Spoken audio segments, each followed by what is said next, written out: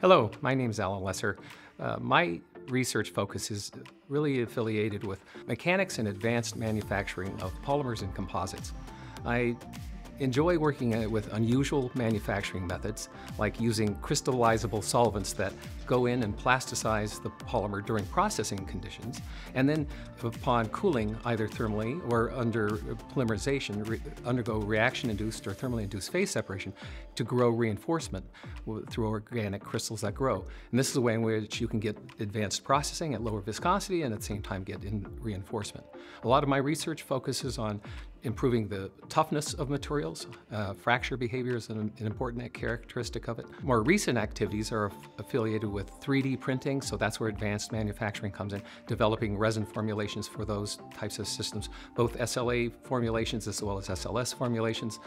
Uh, we're also doing a lot of work now more recently in um, upcycling.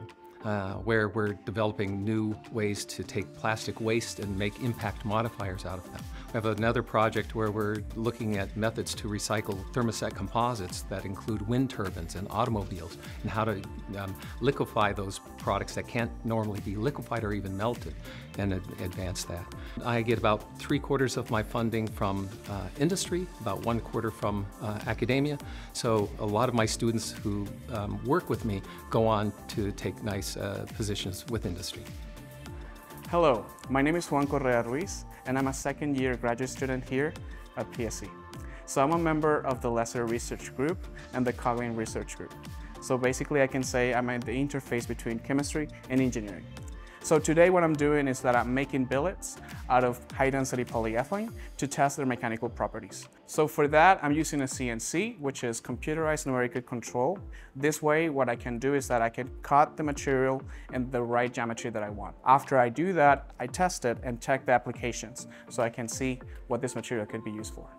Hello, my name is John. I'm a fourth year here in the Lesser Labs. Um, the Lesser Group utilizes a technique called frontal polymerization for a wide variety of applications.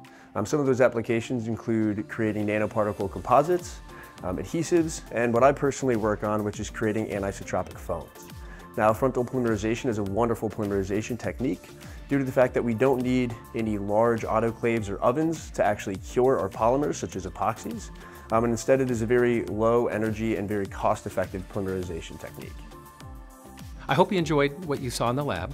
Uh, and if you have any questions, feel free to contact me or any of the members in my group or anyone in the department for that matter. And we hope you uh, come spend some time, get to know us, and come to join us here at UMass.